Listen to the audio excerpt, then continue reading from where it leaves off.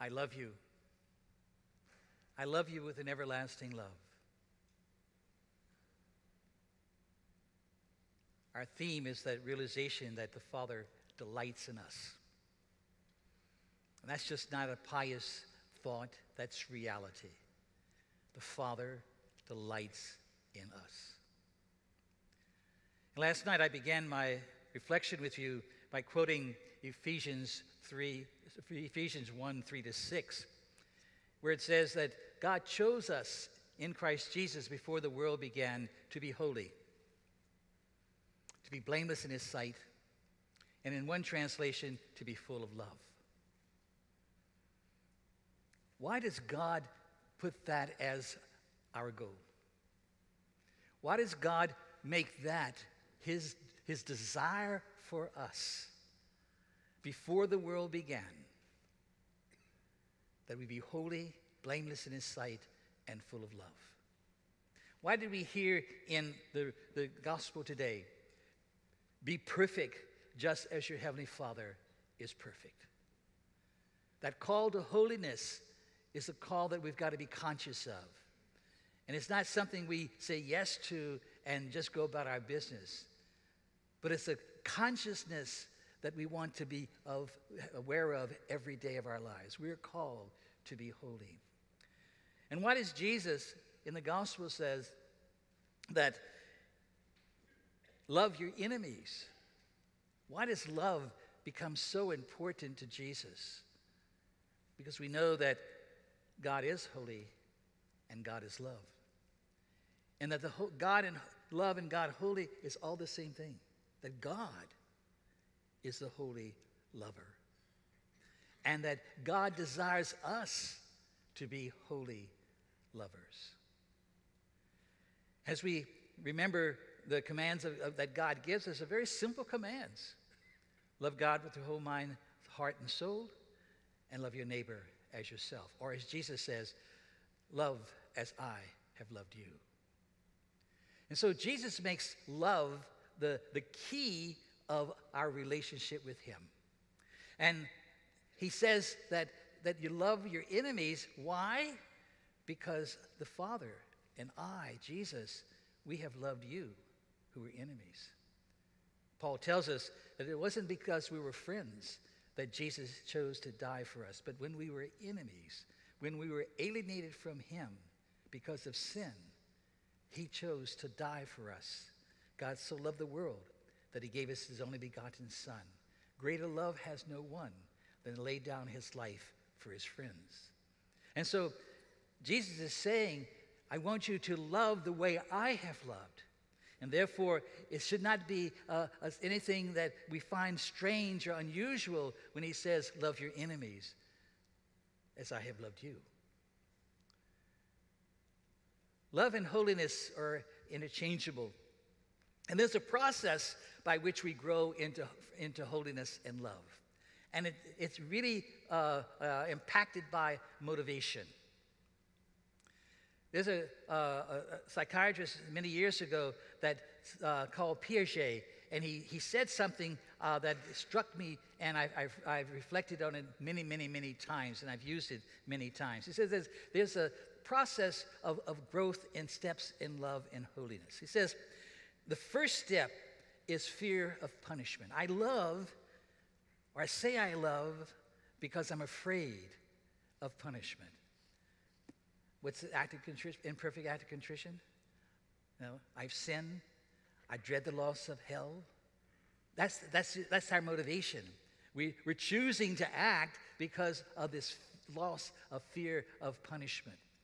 Or he says the second motivation is a little step higher, is a hope for reward. I ask for God's forgiveness of my sins so that I may not lose the, the lights of heaven. I may, I may not lose heaven. The third motivation, he says, is we act out of obligation. The law tells me to, to do this, and therefore I choose to act because the law tells me to do this. And maybe if I, if I follow the law, then I may, I'm going to be saved. The fourth st- step, he says, is uh, I choose to do this because uh, uh, I want to please people. And the, fir- the fourth, the fifth step, he says, I'm sorry, the fourth step, he says, is I choose to do this out of love, but basically because I want people to love me. I love those who love me. And he says the final step is I choose to do what I do out of love of God. That's the ultimate call. That's the ultimate motivation that God is calling us to embrace. But as, as we know, love is a, is, a, is a process, and holiness is a process. And where does the process begin? It begins, as we heard in uh, the, read, the first reading, if I can find it very quickly. Uh, uh, I, I, can't find it very quickly. Uh, they, they gave themselves first to the Lord. They gave themselves first to the Lord. That personal encounter with Jesus Christ is the beginning of holiness. When we really enter into that first initial encounter with Jesus Christ, this is what Pope Francis has been talking about, and Pope Benedict and Pope John Paul II have been talking about over these uh, years. That we have to have a personal encounter with Jesus Christ. But that it's not just a one time event that because of that personal encounter that something stirs within us that we want more and more and if you look at peter's life journey we see how that that that uh, those encounters in peter's life made a difference in his life to the point where he came to know that he know, knew that he loved jesus. Do you love me peter? Yes i do. Do you really love me peter? Yes i do. Do you love me more than others? Yes i do.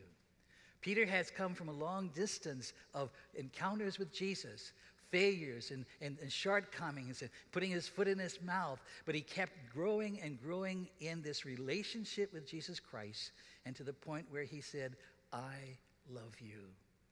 And when he came to that point, Jesus says, Now follow me.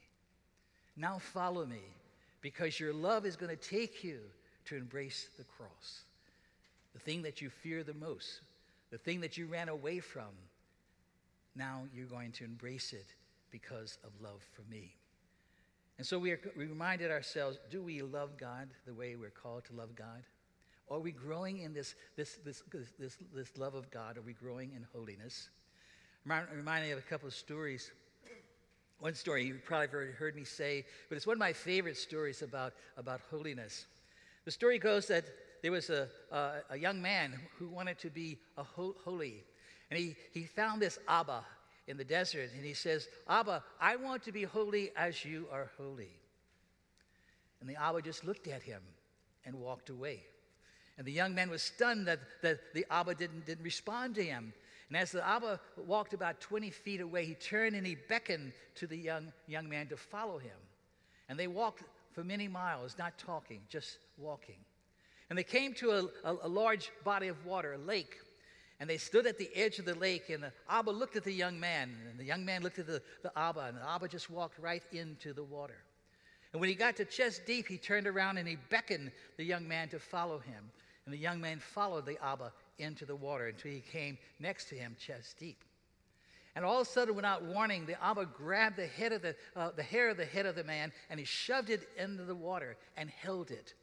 And of course, the young man was not expecting this, and therefore he, was, he didn't have that much air in his lungs. And he began to struggle, trying not to drown and breathe in water.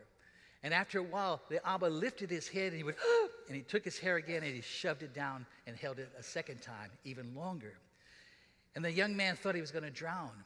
And when he came to the, almost that point, he, the Abba just lifted his head a, a, a second time and he went, and the third time he went under. This time he held it longer until bubbles start coming out of the nostrils and the mouth of the young man.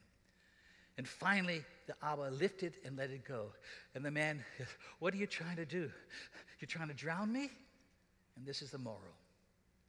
He says, When you desire God as much as you desire the breath in your lungs, then you will be holy. When you desire God as much as you desire the breath in your lungs, then you will be holy. That's what God is calling us to. He's calling us to desire Him because He has desired us already. You're my beloved Son in whom I'm well pleased. I've given you my life, I've given you everything. Do you desire me as much as I desire you? Do you want to desire me as much as I desire you? Do you want to be perfected as I am perfect? Do you want to be holy as I am holy? That's the question. That's the question. And how do we know we were there? How do we know we, we, are coming close to that, to that moment? We don't. We will not know. Others will know. Others will see what we can't see. As long as we're trying to grow deeper and deeper and deeper into this oneness with God, into this union that God calls us into, into this love that God calls us into, others will see. And that leads me to my second story. Second story is that mother was in church with her daughter, who was about six years old, and she was explaining the stained glass windows in the church of the different saints. And the little girl said, Mommy, what's a saint? And the mother took, was taken aback, and she was trying to figure out how can she tell a six-year-old what a saint is, and she's stumbling for words. And all of a sudden, the, the, the sun shone right through the stained glass windows. And she says, Mommy, Mommy, I know what a saint is. A saint is one through whom the sun shines through. Does the Son of God shine through you and me? Can people see God in us? Can, see, can people see God's love in us? Can people see the, the presence of God in us? If they can, the Son of God is shining through us. Be holy as I, your God, am holy.